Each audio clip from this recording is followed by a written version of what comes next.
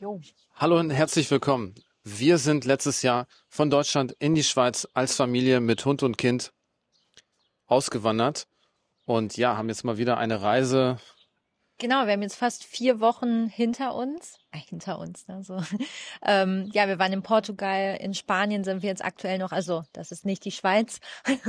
Leider nicht. Leider nicht, ja, obwohl wir haben auch einen sehr schönen Ausblick. Haben wir. Und ähm, genau, und wenn man natürlich so eine Reise macht, dann überlegt man, war Schweiz die richtige Entscheidung oder hätten wir nicht doch lieber nach Portugal oder Spanien auswandern sollen? Denn das Wetter ist hier schon besser, oder? Definitiv. Immerhin haben wir hier in Spanien Menschen kennengelernt, die schon vor längerer Zeit von Deutschland in die Schweiz ausgewandert sind und haben uns hier in Spanien inspirieren lassen. Also besteht definitiv für uns persönlich mit Reisen, gerade auch hier im Süden, ähm, definitiv eine Verbindung.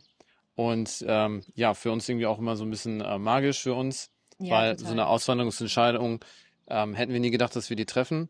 Aber es war auf jeden Fall die beste Entscheidung. Das können wir jetzt ähm, nach fast ähm, zwölf Monaten, sagen wir mal zehn Monaten Schweiz äh, definitiv sagen.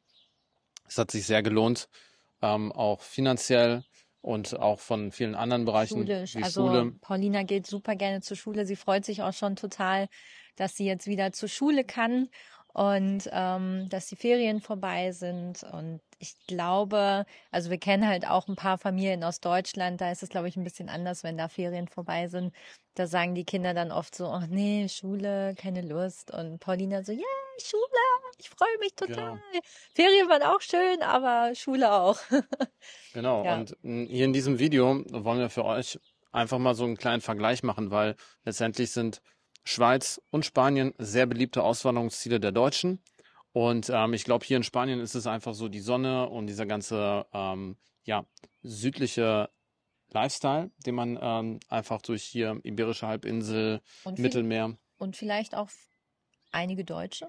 Also man hat Genau. hier natürlich auch einige Deutsche. Die ja. Communities sind hier natürlich auch groß, gerade jetzt auch hier in unserem Bereich, wo wir jetzt hier sind, äh, im Raum Denia, Alicante, Benidorm sind natürlich auch viele Deutsche. Ja. Weil es halt super beliebt ist und ich glaube, es liegt auch wirklich daran, weil hier einfach auch sehr, sehr viel Sonne scheint. Genau, Ja. ja. Von 360 Tagen hat man hier circa 300, 250 bis 300 Tage Sonne und das, das macht schon was mit einem, morgens aufzustehen, blauen Himmel zu sehen. Ja, Jetzt hier, wir haben einen wunderschönen Sonnenuntergang. Wir sind gerade hier in Denia. genau. Ähm, das liegt äh, in der Nähe von äh, Valencia. Sehr schöne Gegend. Auch ein Bekannter von uns äh, ist hier hierher ausgewandert oder mehrere Mhm. Menschen, die wir kennen, sind hier ausgewandert, auch Familien. Und ähm, ich glaube, es ist auch hier wirklich ein wunderschöner Ort. Ähm, aber so jetzt aus unserer Sicht, wir haben auch hier mal verglichen und was Macht hier als ja Schweizer, also wenn du jetzt Ja. in der Schweiz schon gelebt hast, so wie wir, und ähm, die Rechnungen in der Schweiz bezahlst, die Lebenshaltungskosten, Mieten und so weiter, und dann hier mal dir ein Bier bestellst oder ein Getränk und ich weiß nicht, Was auch immer. was auch immer, ähm, genauso in Portugal, Ja. da denkst du ja, boah, wie Haben die irgendwas wie vergessen? Haben die irgendwas vergessen? So, oder ne, nochmal genau gucken. Nee, ist alles drauf. Und äh, Wahnsinn, so günstig. Ja. Genau, also die Preise sind schon Lebenshaltungskosten sind Ja. hier natürlich nicht zu vergleichen ähm, mit der Schweiz. Ähm, sie sind definitiv günstiger als in Deutschland auch. Also Ja, die Lebenshaltungskosten in Spanien und Portugal Ja. sind extrem gering. Und also nicht extrem gering, aber viel geringer als Mhm. auch in Deutschland.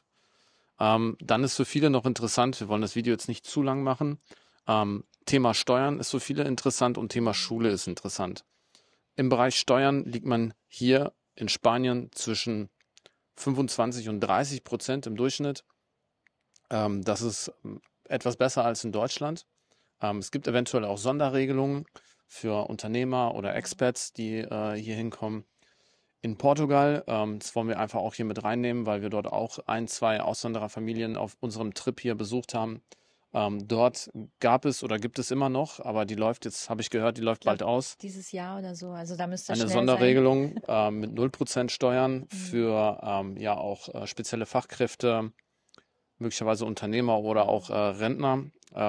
Genau, muss aber dann äh, vor Ort mit den Behörden abgeklärt werden.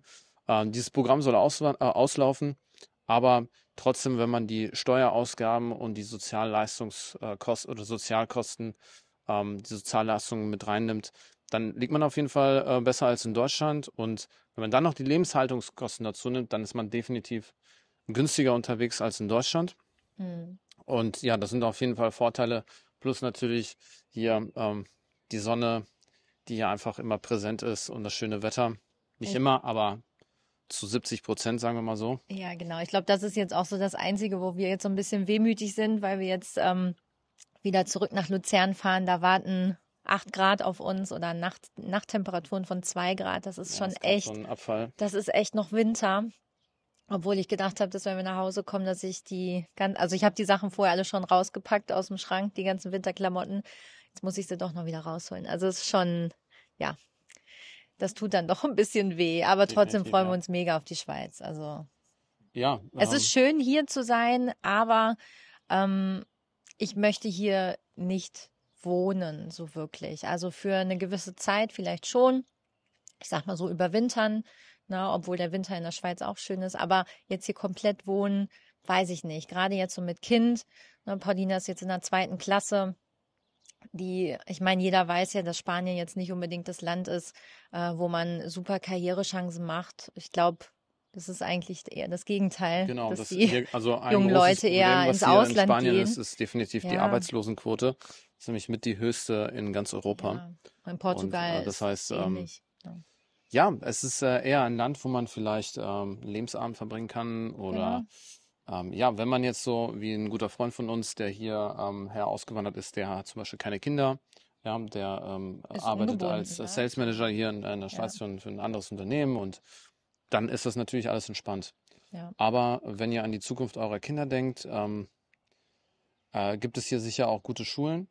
Mit ähm, Sicherheit kann man hier Hier gibt es auch gute lassen. Communities, deutsche Auswanderer-Communities. Ja, auch in ähm, Portugal. wo man sich sicher sehr schnell und sehr gut integrieren kann.